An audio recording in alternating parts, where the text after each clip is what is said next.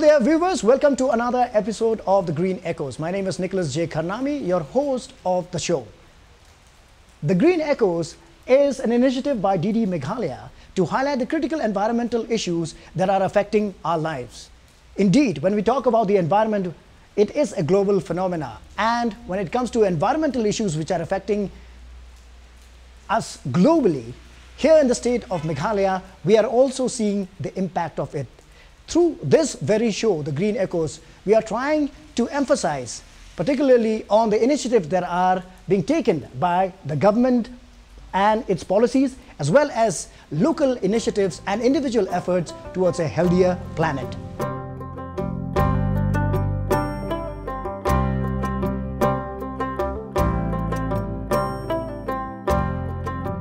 On this episode of The Green Echoes, we will be highlighting and focusing on the essence and the significance of the observance of World Environment Day.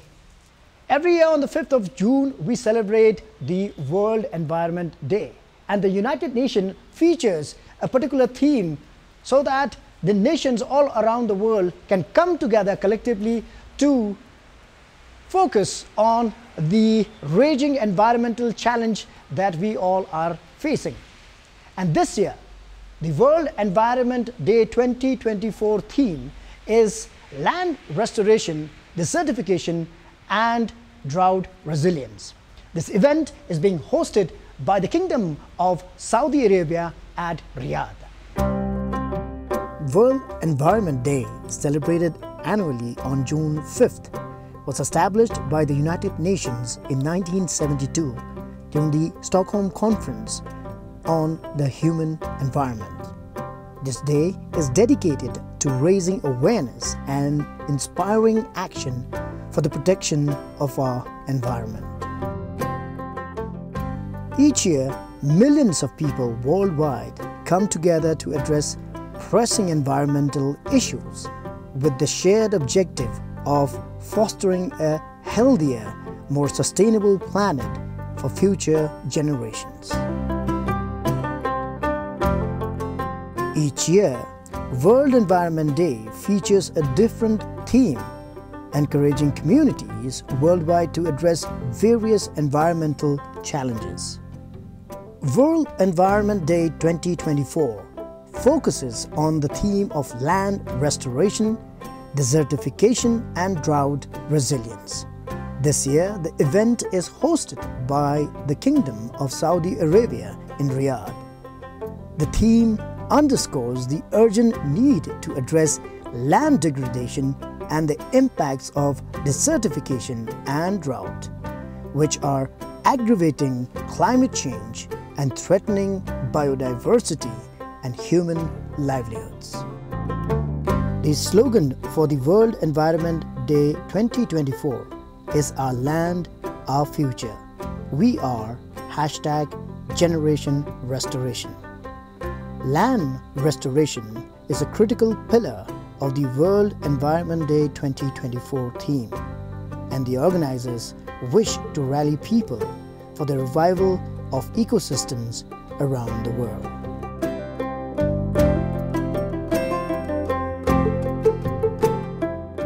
This year's theme underscores the urgent issue to address land degradation and the serious concerns that we are facing because of this, and how we as individuals and the community at large need to come together to address this concern, which is towards land restoration, towards facing the desertification of our landforms and flora and fauna, and at the same time, the serious concern of drought resilience and how active initiative of the community can help us save this planet from this major concern that is affecting us as nations, particularly affecting biodiversity loss and impacting on our livelihoods.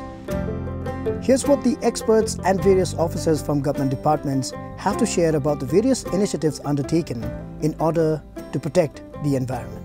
Uh, first of all, a happy World Environment Day to all of you.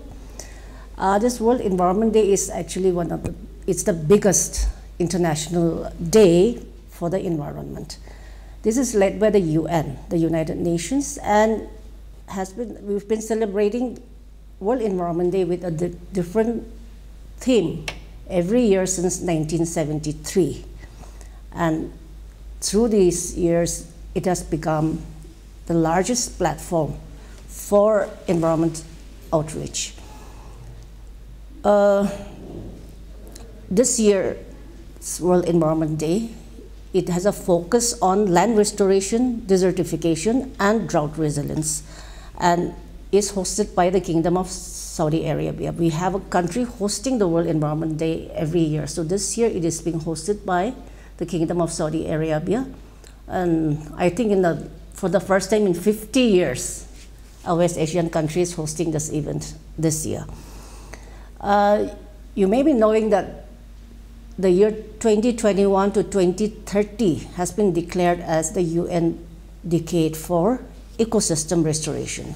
So this year's theme is a call for uh, the protection and restoration of ecosystem all over the world. Today we have three crises, a triple planetary crisis staring at us today. One is the crisis of climate change, second is the crisis of nature and biodiversity loss, and the third is the crisis of pollution and waste. This crisis is laying assault on the world's ecosystem. It is leading to land degradation everywhere in millions of hectares, and this will impact more than half of the world's population and will also have, an, have a big impact on the global JD, uh, GDP. Now, uh, this will hit the poor the small farmers, and also states like us, hilly states with very fragile ecosystem will be hit the hardest. Hence, restoration, as this year's theme, becomes very important. So restoration will boost livelihood, it will uh, lower poverty, and it will uh, build resilience to extreme weather events, just like the extreme weather events that we have been witnessing uh, every year and even now at this time of the year, even in Shillong, we can see, we can witness and we can feel the extreme weather events that's hap happening today. And not only that, but restoration, land restoration will also increase the carbon storage. It will increase the carbon storage and so it will slow down the impact of climate change. Because land restoration alone without addressing the various issues of climate change would be a futile exercise actually. So uh, see we cannot we cannot turn back the time we cannot turn back the clock but it is not too late for us. We can still uh, plant trees grow forests we can lend nature a helping hand and just like this year's slogan says, because this is our land and our future, and we are hashtag generation restoration. So I would like to invite everyone to be a part of this generation that will restore this planet for all of us today and for the generations to come. The World Environment Day during the current financial year for this year 2024 has, I mean, is with the uh, has been proclaimed to to be with the theme land restoration and then um, the, to, pre to prevention of desertification steps taken to prevent desertification and initiatives taken to restore the land uh, which is uh, degraded on account of various factors and then drought resilience how to build drought resilience. So uh, the meghalaya forest department has been undertaking various steps in this regard especially for the matter of uh, restoration of land, we have taken several measures, like for example, to carry out afforestation in areas which have been degraded on account of uh, shifting cultivation, loss of forest cover on account of shifting cultivation, mining and other economic activities. Whatever deforestation which we have had uh, during these years, we try to restore the forest area in these areas, are undertaking various afforestation programs. Various afforestation programs are being undertaken through uh, the state plan schemes and then uh, through uh, CAMPA, Compensatory Afforestation Fund uh, schemes, and then uh, from also from the Environmental Protection uh, Restoration Fund, MEPR fund, which has been created in the state of Meghalaya on account of the orders of the Honorable NGT in the rat hole coal mining banning case. The NGT case through which rat hole uh, coal mining had been banned in the state of Meghalaya. The particular NGT case, the Honorable NGT had directed creation of a fund known as Meghalaya Environment Protection Restoration Fund. So, uh, through this fund also, several uh, um, several measures are being taken to restore the land which has been degraded on account of the rat hole mining. so, in this through these schemes, say for the last 5 years, we have uh, undertaken afforestation over an area of 2282 hectares during last 5 years and nearly 23 lakhs 1408 for 948 saplings have been planted have been planted across the state. As a measure to uh, to ensure afforestation in areas which have been degraded on account of various factors various biotic and abiotic factors in the state and of special mention is the restoration of land in Sohra as you all know Sohra is one of the means of course we were uh, combating desertification. Of course we don't find desert desert in Sohra but then there is a lot of soil erosion top soil erosion has been happening in Sohra uh, due to which the forest cover has diminished considerably in the plateaus of Cherrapunji. So, to restore the forest cover, to restore the soil quality in Cherrapunji, we have undertaken uh, plantation over an area of uh, 1693.5 hectares. So, this is about the, the various measures that we are taking undertaking uh, to combat uh, like for example in uh, Cherrapunji though there is no desertification as such but the topsoil erosion has been such that now the tree growth is reduced to a very great to a very significant extent. Mm. Government of India has created a new scheme called Nagarvan Yojana, urban forestry. That is, we have Nagarvans, have uh, urban forests, in forests in urban areas because now India is having considerable area of urban area also and it is essential to have forests not only rural areas but we need to have them in urban areas as well mm -hmm. to provide good safe environment to the public, mm -hmm. recreation uh, area to the public.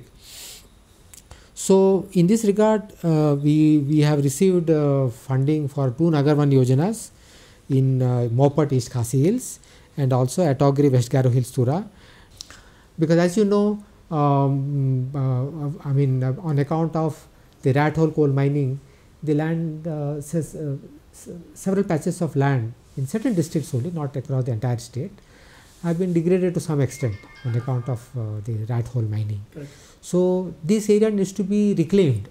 Mm -hmm. Okay, the, the state government is keen to have scientific mining, mm -hmm. but then alongside we also need to have uh, restoration of the areas which have been denuded, which have been degraded on account of rat hole mining. So, in this regard through the funds made available from the Meghalaya Environment Protection Restoration Fund, totally about in the in uh, in each JNTH district just under the MEPR fund, Environment Protection Restoration Fund, areas affected on account of coal mining, we have uh, uh, undertaken restoration about 59.5 hectares in each JNTH district and East Khasi Hills district about 25 hectares. And West Khasi district about 111 hectares. And East Garo Hills district about 15 hectares, South Garo Hills district about 185.48 hectares. And West Jaintia Hills about 20.26 hectares. Right from the school days. So, the children should be actively involved, the school should spread awareness of the importance of the forests, preservation of the forests, preservation of the environment and observe World Environment Day in a very serious and fitting manner uh, that would um, uh, that, that would behove a state like ours northeast is supposed to be like Meghalaya is supposed to be cradle of endemic species that is how Hooker described our state way back in 1857 two centuries ago. So, cradle of endemic species. So, we have rare endangered species in our state and that was recognized internationally way back 200, 200 years ago. So, we have a duty to ensure that this rich repository of biodiversity which we have, this rich repository of rare threatened species which we have should be well preserved and, and not be lost and extinguished forever from the mankind. So, to achieve this objective, we need to preserve our forest cover, we need to preserve our environment for which not only the government departments, but the public also need to be to be motivated, involved and give us a helping hand in preserving this rich treasure that our state has.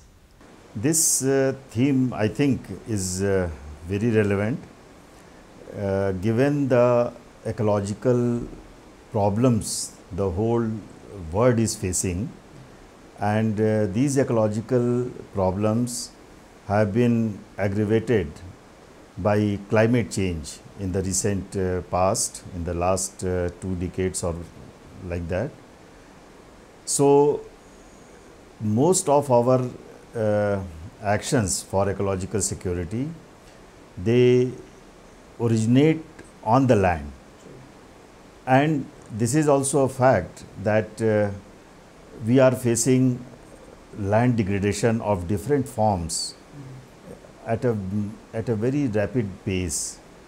So i think in this situation the theme for this uh, this year's world environment day that is uh, land uh, re restoration drought uh, drought resilience and uh, Desertification. desertification that is very very relevant though we do not face uh, problem of desertification but in uh, and uh, meghalaya though it's a uh, the state is blessed with very vast uh, natural resources particularly it's a forest rich uh, state it's a high biodiversity uh, state. We receive very high rainfall. There are number of uh, endowments uh, which nature has blessed the state. But despite that we have many problems also which we are facing uh, from I means from the ecological concerns point of view. The first and foremost is the water. And it uh, looks as a paradox that we receive such a um, um, highest rainfall in the world but still we face uh, water scarcity. Uh, and this water scarcity if uh, we go a little deep into this problem this is basically a symptom of degradation of our ecosystems. So what has happened that in the last uh, couple of decades the land use land cover in the state has changed very rapidly. Lot of urbanization is taking place.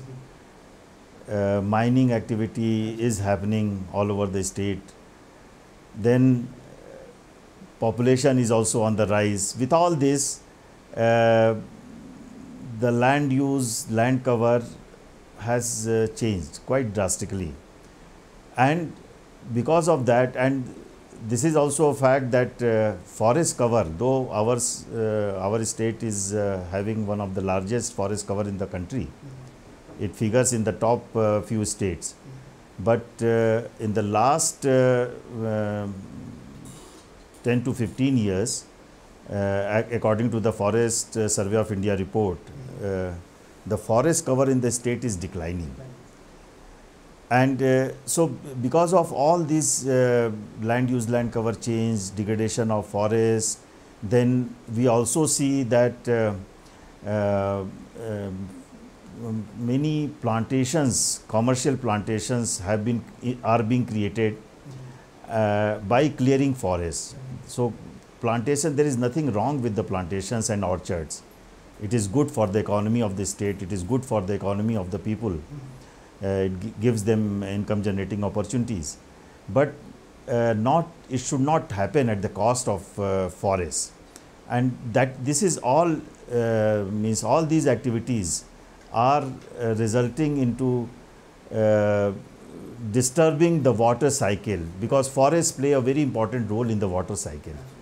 And because of that our water our springs rivers they are not getting uh, charged uh, by the uh, water.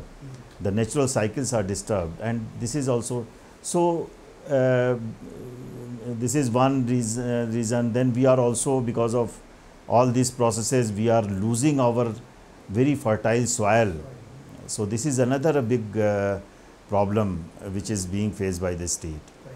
So the we we should essentially focus on land restoration activities and which happens to, to be the theme of this uh, World Environment Day. Uh, Meghalaya Basin Development Authority is implementing several external aided projects mm -hmm. and the um, focus of most of these EAPs mm -hmm. are restoration of uh, land, restoration of ecosystems, mm -hmm. catchments of the state. So we have uh, under under the aegis of uh, Meghalaya Basin Development Authority, several initiatives have been taken up mm -hmm. for strengthening our ecosystems and restoring our uh, catchments. Mm -hmm. I can name a few. You might have heard recently. Uh, our honorable uh, chief minister has launched payment for ecosystem services. It's a very novel kind of initiative which has been launched on a state in, uh, means uh, on the statewide scale. -hmm. through this initiative, we are uh, encouraging our community persons. In fact, you you are you may be aware that in our state, over 90 percent forests are owned by the communities and individuals, and they they uh, they are protecting and conserving these forest resources since ages. But because of all these pressures and land use land cover change definitely there are uh, pressure on our uh, forests uh, so in fact uh, this is uh, so this scheme this payment for ecosystem service uh, initiative has been launched to encourage and incentivize our communities to to conserve and manage the natural forests owned by them in a sustainable manner following scientific uh, methods. My message uh, uh, would be that uh, we all should uh, first uh, be aware about the grave threat and grave situation which we are going to face and particularly we should be concerned about our future generations. So, each and every one of us has a duty, has a role to play in uh, restoration of uh, the land and restoration of our environment, ecosystems, water, forests, biodiversity, soil. Uh, so, uh, it is very important and I think uh, uh, this year's themes is uh, very rightly centered around that.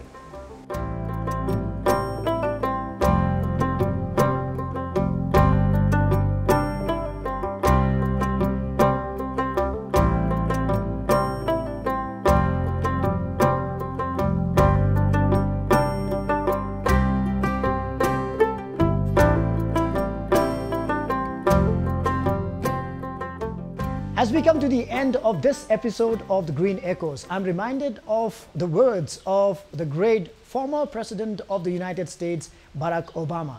Change will not happen if we are waiting for someone or for some other time.